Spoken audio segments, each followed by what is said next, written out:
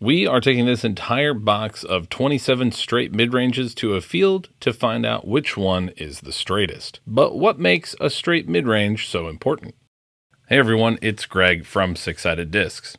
Before we get started, a quick announcement. We are super excited that pre-orders are now open for our first run Six Sided Discs jerseys.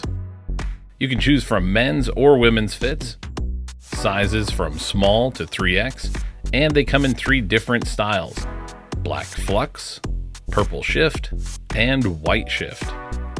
Pre order yours at the link in the video description from now until Monday, May 22nd. Now, on to the video. Back in January of 2022, we drove down to Tennessee to shoot a video with Chris Dickerson to learn all about the buzz and how important it was to his game. But the importance of a straight mid range does not end with Chris Dickerson.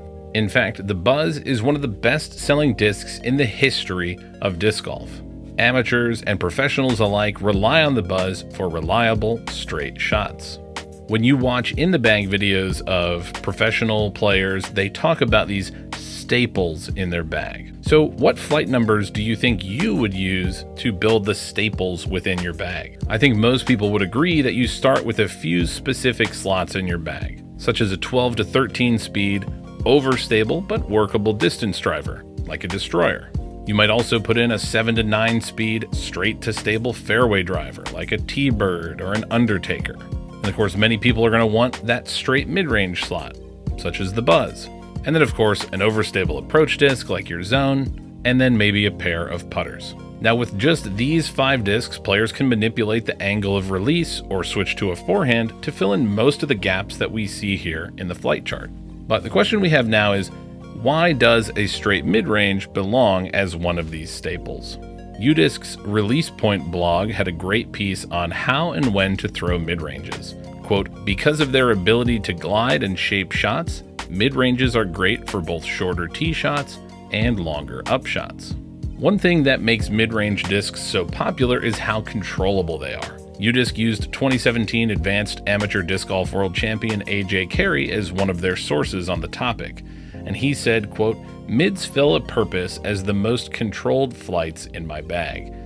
He went on to say, I can throw them straight on anhyzers, rollers, hyzer flips, soft hyzers, and hard fades. You cannot leave out the mids. So, mid ranges are extremely important. And many players would also agree that the hardest shot to throw in disc golf is a straight shot. So if mid-ranges are the most controllable disc, it would stand to reason that they would be the easiest disc to use to throw the straightest shot. But which mid-ranges are actually straight? Well, that's what we're going to find out. We're taking nearly 30 straight mid-range discs to a field to test them against each other and find out which one flies the straightest for us. As we go, we're going to categorize those mid-ranges as either straight, overstable, or understable and we'll leave a little bit of room on the edge for any outliers we might find. Now, for this test, we are not interested in distance, but simply how straight the disc will fly. Straight to us could be defined as a literal straight line or minimal turn to minimal fade, finishing with a straight flight. Throwing for us today, we have Caleb, who's currently rated 918. You saw him previously in our Thunderbird video. And also throwing with us today is Team Lone Stars Daniel. He's currently rated 869. Without further ado, let's get to the discs. First up for us is the MVP Reactor. The reactor is available in Eclipse, Fission, or Neutron plastic. Ours is a max weight neutron reactor, and it was pretty overstable. I've thrown some of these reactors in the past and they were straighter than this one, but for our comparison, we're going to say it flew pretty true to its flight numbers and a bit overstable. Next, we have the Prodigy M4. The M4 is a very popular mid-range among Prodigy throwers, and for us was one of the most reliably understable mid-ranges we threw much more so than the negative 1-1 as the numbers might suggest. The M4 we used was in their glow plastic, so perhaps some of their other premium plastics might be a bit more overstable. The Dynamic Discs Truth. The truth caught me completely by surprise, and I can't really say why because I'm not sure what I was expecting. I don't know that I've thrown it, I don't know that I've seen people throw it, but needless to say, the truth was surprisingly overstable. Daniel's shot was a little bit of an early release, but it just carried and carried left. While Caleb's shot was also a tiny bit early out of the hand, all this disc wanted to do was go left. Completely unexpectedly, the truth is going in the overstable column. Next up, the Discmania Origin Midnight Prowl. The Origin is a disc that we've thrown on camera many times, as recently as our Thought Space Athletics Mana video and as far back as our Buzz video with Chris Dickerson. And just as we expected, it is much more understable than the negative 1-1 flight numbers, consistently turning over and holding that turn until it reaches the ground. The Midnight Prowl Origin as well as the stock Origin are very much an understable mid-range. We were curious if there might be much difference between the Midnight Prowl and the Midnight Prowl 2, so we're going to test that as well. The Midnight Prowl 2 is in Metaplastic, and it's safe to say there is a noticeable difference. The Midnight Prowl 2 has plenty of initial turn, but does actually work its way back to flat and eventually fade out, giving you a straight flight if you have the airspace for it to fly. So for the purposes of our testing, we're going to say the Midnight Prowl 2 is straight. Next up, we move on to the Texas Ranger from Lone Star. This is an extra interesting one because Daniel just joined Team Lone Star recently. He's been bagging buzzes for as long as he can remember for that straight mid-range slot, and the Texas Ranger is essentially fighting for that spot in his bag because he's only able to throw about 10% of the discs in his bag as non-Lone Star discs. Based on the initial throws with it, it looks like the Texas Ranger is close enough to a buzz that it may be able to take that slot and work away into Daniel's bag. Caleb's throw with the Texas Ranger was a little bit low, but also very straight.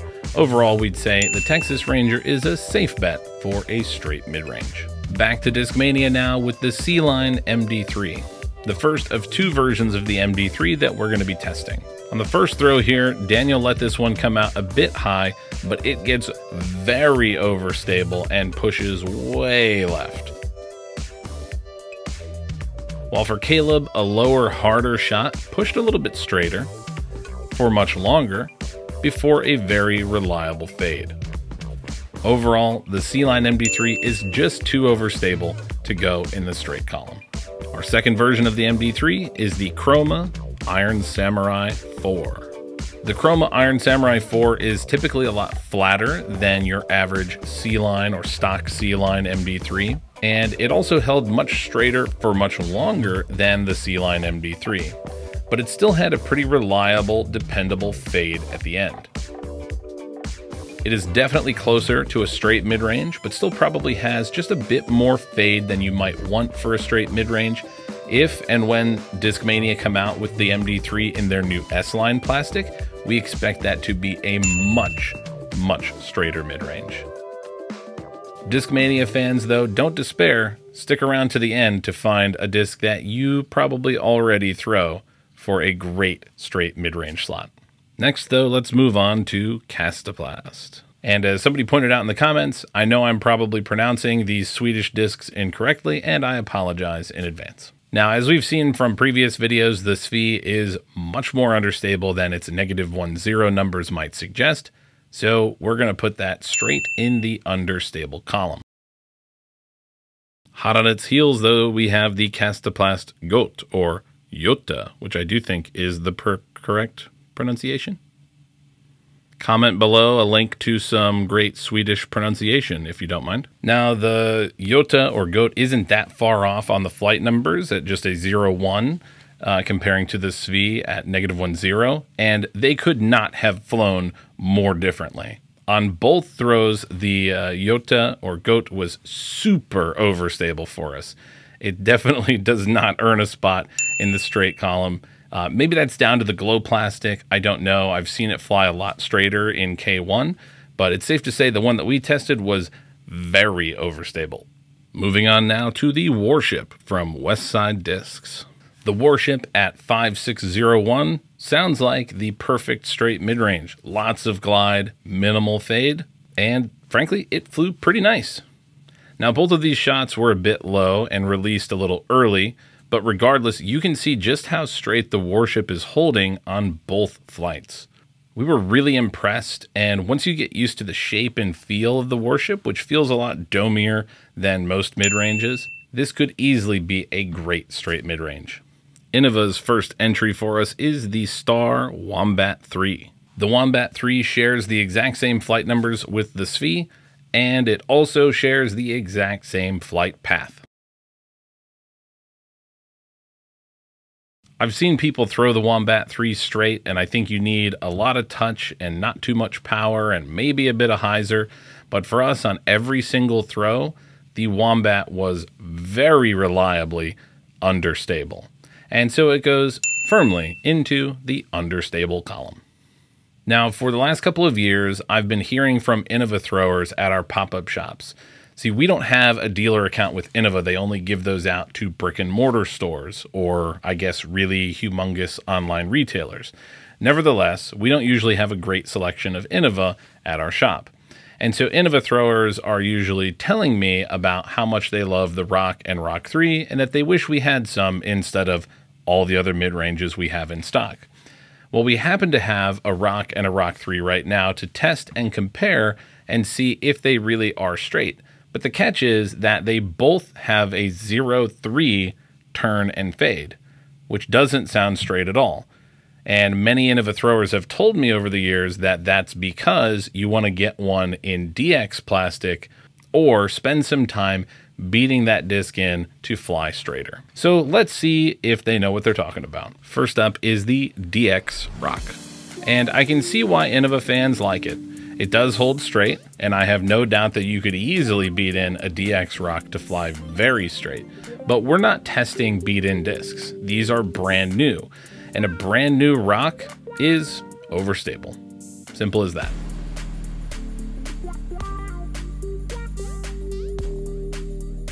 Next up, the Tour Series DX Rock 3. Now, the Rock 3, thrown flat and low, did hold very straight, but as soon as we gave it room to fly, it showed us that that 3 fade is very true indeed. Straight into the overstable column as well. Now, Innova throwers might also be saying, what about the Mako 3? Unfortunately, we didn't have any Mako 3s available to test, so you'll have to wait until we make version 2 of this video. Moving from Innova now to two discs manufactured by Innova, the Infinite Discs Metal Flake Glow C-Line Chariot, and the Infinite I-Blend Anubis. So out of these two, I firmly expected the Metal Flake Glow Plastic to be pretty overstable, and I also expected the I-Blend Anubis to be pretty understable, as this has usually been true for any of the discs that we have in those plastics. And the Chariot blew away my expectations by being so, so, so understable. Every single throw, the Chariot got up, turned, and never looked back. The exact opposite to what we were expecting.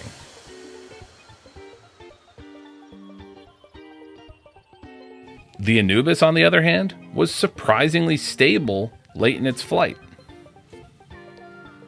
And while our shots with it were a little bit nose up, it certainly had more stability than I expected. So the Anubis just about earns a spot in our straight column, but the Chariot, no way. Understable. Back to Prodigy again for the M Model US. At 4.5 negative 1.1, the M Model US sounds like the perfect straight mid-range. Caleb got a really nice turn from it on a sort of hyzer flip type shot with a decent bit of power. Not bad. And Daniel pulled it a little bit to the right, but it flew really, really straight even with that slight grip lock. We're confident putting the M Model US in the straight column. Next up, the Latitude 64 Opto Compass. I've heard a lot of people talk about how straight and versatile the compass can be, so I can only assume that they were throwing a different compass than the one we threw today. Because this compass was beefy on every single throw. It was overstable and then some. It was probably in the top two or three most overstable mid ranges we threw. So I'm not sure if it's just the optoplastic on the one that we threw, but if you're looking for a compass, maybe try out some other plastic blends. I don't know. Next, we have a disc that you're probably not familiar with. This is the Divergent Discs Kapre, or Caper? The first one we're going to test is in Max Life plastic. They're premium plastic. And even though it's their premium plastic, it's only $13 at retail. Now, Divergent Discs markets their discs to beginners, and they have very beginner friendly flight numbers on the majority of their discs. So naturally, we expected this to be pretty understable. And boy, was it. Easily one of the most understable discs that we threw on the day. Now, we also have the Kapre in an even less expensive, more beginner friendly plastic called Max Grip. Now, if you thought the Max Life Kapre was understable, just wait until you see the Max Grip Kapre.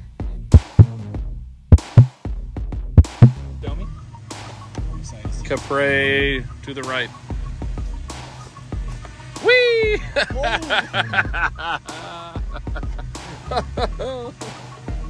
oh my god.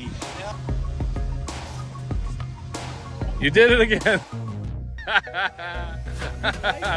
That's literally almost identical. The Max Grip Kapre is ridiculous. It should really have a glide rating of 10, a turn rating of negative 6. It just did not want to stop flying.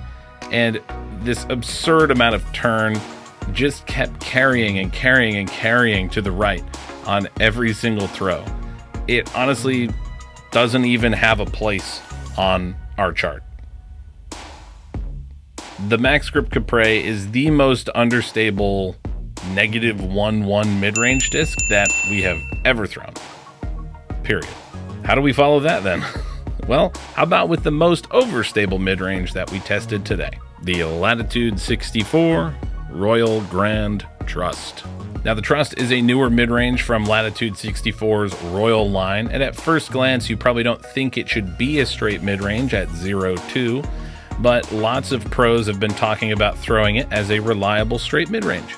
And I think it's safe to say that it may only be straight for big time power throwers. At 5502, it flew more like a 5503 or 5504 for Daniel and Caleb. Reliably overstable, nothing more.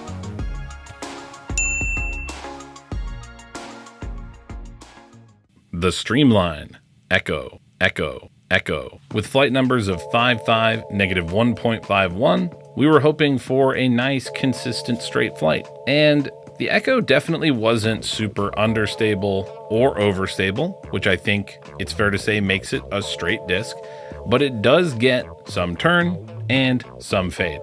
So we're happy putting it in the straight column. I would say a worthy inclusion as a straight disc and worth giving a try if you like the feel of streamlined plastics. Moving on now to the Thought Space Athletics Pathfinder. The Pathfinder we're testing today is an ethereal plastic, but it is available in a variety of plastics from Thought Space that may vary in stability. This is another disc that I've heard a lot of people really like for straight flights, and I've even tested one myself and found it to be pretty straight. But this ethereal Pathfinder was not very straight. Not for Caleb and Daniel, at least. Both throws we recorded were surprisingly overstable. We didn't notice anything different about the wind or the release, so maybe we just got an overstable one. But the Pathfinder probably fits in with the Chariot as one of the furthest from what we expected, in that it was reliably overstable the Latitude 64, Gold, Orbit, Claymore. Now, most Orbit versions of Latitude 64 discs that I've thrown have been more overstable than their counterparts, and I think it's fair to say that that's pretty true of the Orbit Claymore. However, the Claymore still holds on to a little bit of understability. Given the airspace, the Claymore still gets a decent amount of turn before a decent fade, finishing with a straight flight.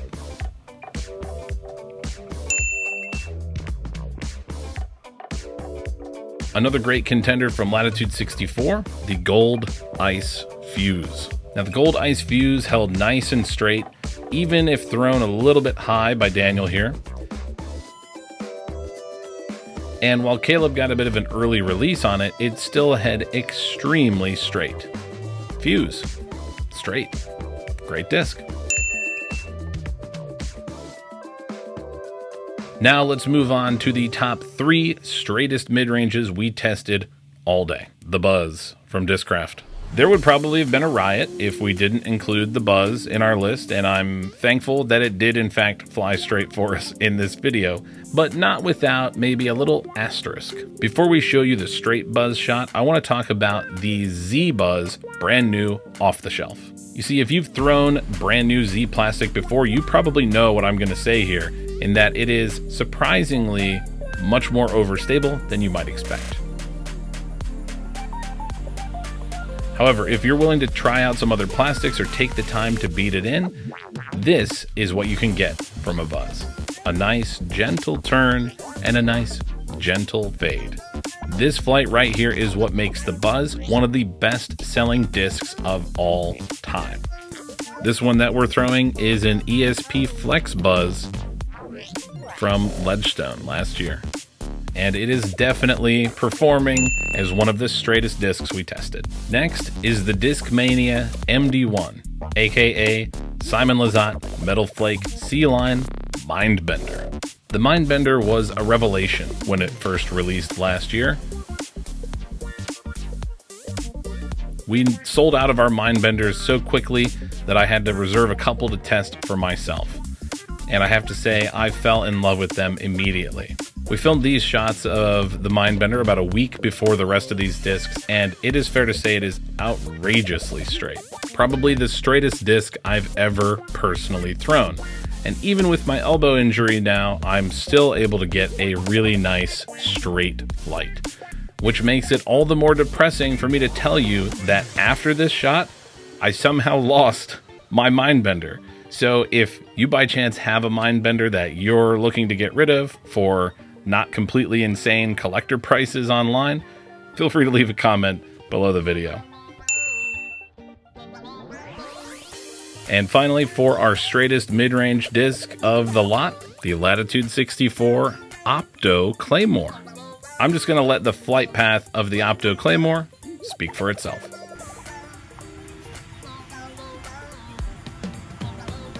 Ooh, that was very straight. What was that? Claymore?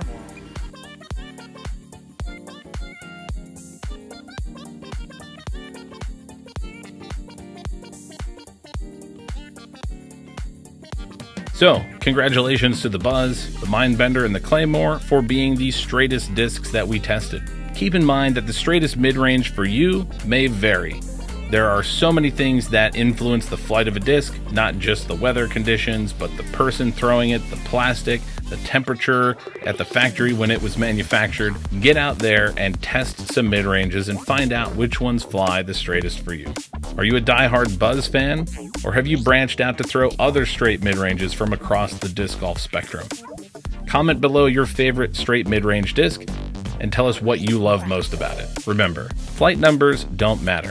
They only tell us the manufacturer's intentions and not how they will actually fly. You can find most of these mid-ranges we tested today at sixsideddiscs.com or at the link in the video description. For Six Sided Discs, I'm Greg. We'll see you in the next one. If you like this content and want to see more, please consider liking the video, subscribing to our channel, or supporting us on Patreon. Your support makes this content possible.